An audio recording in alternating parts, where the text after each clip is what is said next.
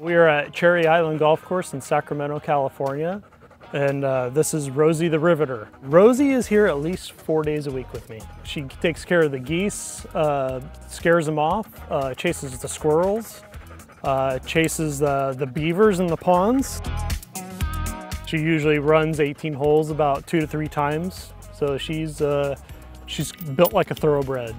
She's fast. She's faster than any golf cart I have on this property uh, she'll leave everyone in the dust. She loves swimming. I can't keep her out of the water. Uh, that's uh, that's a lab thing. It could be 20 degrees out and she's swimming out in the in the ponds. There's nothing I can do to keep her out of the water. Rosie, abajo.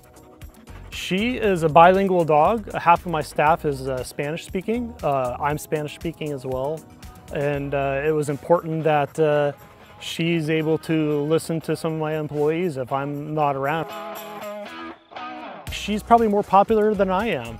Uh, she gets treats from golfers all the time. When they see her chasing geese and doing her thing, half the time they'll clap and give her praise.